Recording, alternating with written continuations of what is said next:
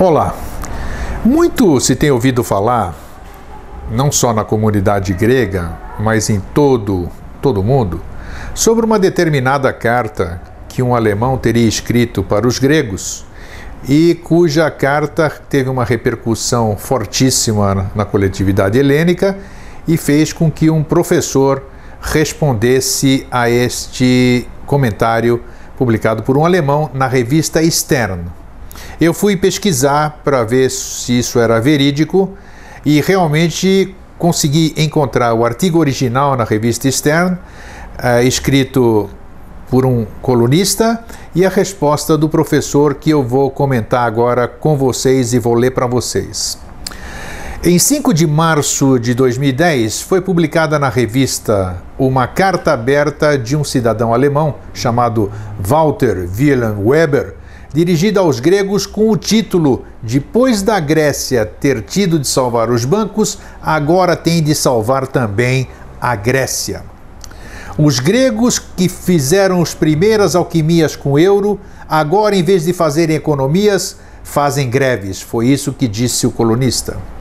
E escreveu o seguinte: Caros irmãos gregos, desde 1981 pertencemos à mesma família.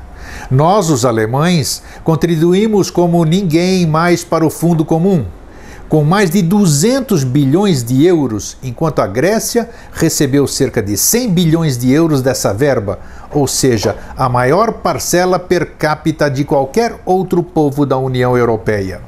Nunca nenhum povo até agora ajudou tanto outro povo e durante tanto tempo. Vocês são, sinceramente, os amigos mais caros que nós já tivemos. O caso é que não só se enganam a si próprios, como enganam a nós. No essencial, vocês nunca mostraram serem merecedores do nosso euro. Desde a sua incorporação como moeda da Grécia, nunca conseguiram até agora cumprir os critérios de estabilidade. Dentro da União Europeia, são o povo que mais gasta em bens de consumo. Vocês descobriram a democracia, por isso devem saber que se governa através da vontade do povo, que é no fundo quem tem a responsabilidade. Não digam por isso que só os políticos têm a responsabilidade do desastre. Ninguém vos obrigou a durante anos fugir dos impostos e opor-se a qualquer política coerente para reduzir os gastos públicos, e ninguém vos obrigou também a eleger os governantes que têm tido e têm. Os gregos são quem nos mostrou o caminho da democracia, da filosofia e dos primeiros conhecimentos de economia nacional. Mas agora mostram-nos um caminho errado e chegaram onde chegaram, não vão mais adiante. Na semana seguinte, isso foi o que o colunista Walter Wilhelm Weber escreveu sobre os gregos. Na semana seguinte, a revista Stern publicou uma carta aberta de um professor grego dirigida a William Weber. Caro Walter, chamo-me Georgios Psomas.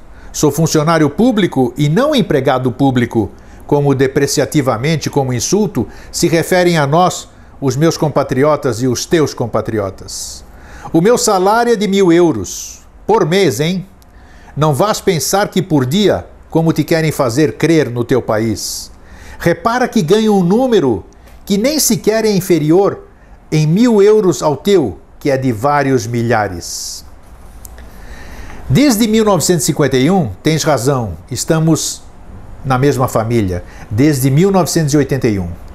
Só que nós vos concedemos em exclusividade um montão de privilégios como serem os principais fornecedores do povo grego de tecnologia, armas, infraestruturas, duas autoestradas e dois aeroportos internacionais, telecomunicações, produtos de consumo, automóveis, etc, etc, etc. Se me esqueço de alguma coisa, desculpe. Chamo-te a atenção para o fato de sermos, dentro da União Europeia, os maiores importadores de produtos de consumo que são fabricados nas indústrias alemãs. A verdade é que não responsabilizamos apenas os nossos políticos pelo desastre da Grécia. Para ele contribuíram muito algumas grandes empresas alemãs, as que pegaram, pagaram enormes comissões aos nossos políticos para terem contratos, para nos venderem de tudo, e uns, uns quantos submarinos fora de uso, que postos no mar, continuam tombados de costas para o ar. Sei que ainda não dás crédito ao que te escrevo. Tem paciência, espera, lê toda a carta, e se não conseguir convencer-te, autorizo-te a que me expulses da Eurozona esse lugar de verdade, de prosperidade, de justiça e do correto. Estimado Walter, passou mais de meio século desde que a Segunda Guerra Mundial acabou. Quer dizer, mais de 50 anos, desde a época em que a Alemanha deveria ter saudado as suas obrigações para com a Grécia. Estas dúvidas, que só a Alemanha até agora resiste em saudar com a Grécia, Bulgária e Romênia cumpriram ao pagar as indenizações estipuladas e que consistem em uma dívida de 80 milhões de marcos alemães por indenizações que ficou por pagar da Primeira Guerra Mundial. Dívidas por diferenças de clearing no período entre guerras que ascendem hoje a 593 milhões 873 mil dólares americanos. Os empréstimos em obrigações que contraiu o Terceiro Reich em nome da Grécia na ocupação alemã, que ascendem a 3,5 bilhões de dólares durante todo o período de ocupação. As reparações que deve a Alemanha à Grécia pelas confiscações, perseguições, execuções e destruições de povoados inteiros, estradas, pontes, linhas férreas, portos, produto do Terceiro Reich e que, segundo o determinado pelos tribunais alemães aliados ascende a 7,1 bilhões de dólares, dos quais a Grécia não viu sequer uma nota. As imensuráveis reparações da Alemanha pela morte de 1.125.960 gregos, sendo que 38.960 executados, 12 mil mortos como dano colateral, 70 mil mortos em combate, 105 mil mortos em campos de concentração na Alemanha, 600 mil mortos de fome, etc. e tal. A tremenda e imensurável ofensa moral provocada ao povo grego e aos ideais humanísticos da cultura grega. Amigo Walter, sei que não te deve agradar nada o que eu escrevo. Lamento-o mas mais me magoa o que a Alemanha quer fazer comigo e com meus compatriotas. Amigo Walter, na Grécia estão instaladas 130 empresas alemãs, entre as quais se incluem todos os colossos da indústria do teu país. As que têm lucros anuais de 6,5 bilhões de euros. Muito em breve, se as coisas continuarem assim, não poderei mais comprar produtos alemães, porque cada vez tenho menos dinheiro. Eu e os meus compatriotas crescemos sempre com privações. Vamos aguentar, não tenhas problema. Podemos viver sem BMW, sem Mercedes, sem Opel, sem Skoda. Deixaremos de comprar produtos do Lide, do Pratiker, da IKEA. Mas vocês, Walter, como se vão arranjar com os desempregados que essa situação criará? Que por aí os obriga a baixar o seu nível de vida perder os seus carros de luxo, as suas férias no estrangeiro, as suas excursões sexuais à Tailândia? Vocês, alemães, suecos, holandeses e restantes compatriotas da Eurozona, pretendem que saiamos da Europa, da Eurozona e não sei mais de onde.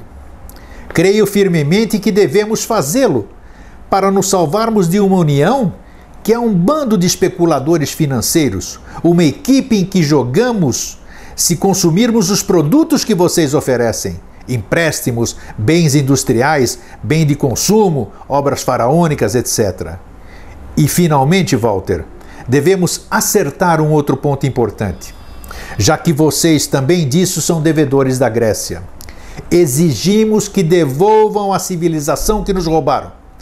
Queremos de volta à Grécia as imortais obras dos nossos antepassados que estão guardados nos museus de Berlim, de Munique, de Paris, de Roma e de Londres. E exijo que seja agora. Já que posso morrer de fome, quero morrer ao lado das obras dos meus antepassados. Cordialmente, professor Yorios Psomas.